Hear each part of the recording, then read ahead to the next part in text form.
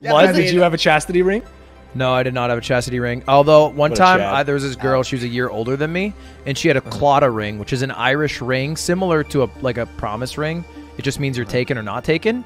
But the difference of a Claddagh ring and a promise ring is if it's facing out, you're like open and you're like re- ready to prowl the town, and if it's in, you're taken.